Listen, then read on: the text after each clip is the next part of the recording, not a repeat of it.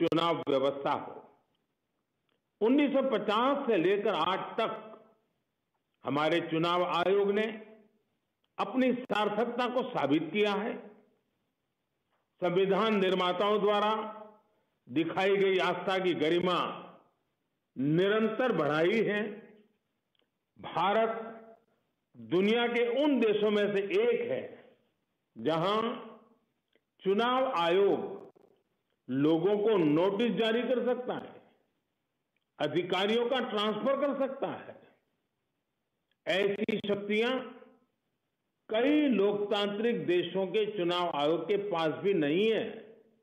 इसलिए भारत का चुनाव आयोग, हमारी चुनाव प्रक्रिया बहुत से देशों के लिए एक बेंचमार्क की तरह है।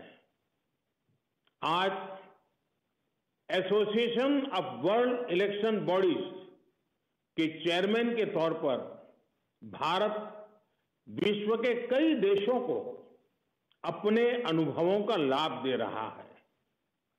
ये भी बहुत संतोष की बात है कि भारत की हर संवैधानिक संस्था ने हमेशा चुनाव आयोग की गरिमा की रक्षा की है। चाहे कोई भी राजनीतिक दल हो उसने हमेशा चुनाव आयोग के आदेश का पालन किया है। हमारी अदालतों ने भी, सुप्रीम कोर्ट तक, हर किसी ने चुनाव आयोग को हमेशा अपना समर्थन दिया है।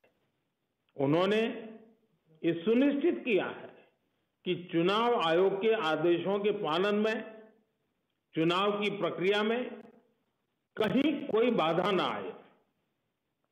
साथियों आज इस कार्यक्रम में जुड़े आप में से बहुत से लोग ऐसे हैं जो फ़र्स्ट टाइम वोटर्स हैं या जिन्होंने हाल ही में अपने को वोटिंग के लिए एनरोल किया है।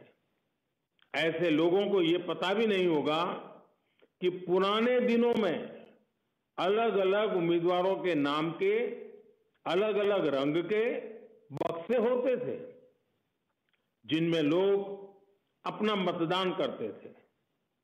पहले आम चुनाव में यही हुआ था। प्रत्येक मतपेटी अलग अलग रंग की थी और उस पर उम्मीदवार का नाम और पार्टी का चिन्ह था। उस दौर से निकलकर आज भारत में ईवीएम की मदद से मतदान होता है। एक समय था जब मतदान के बाद वोटों की गिनती कई कई दिनों तक होती थी। लेकिन ईवीएम की वजह से अब कुछ ही घंटों में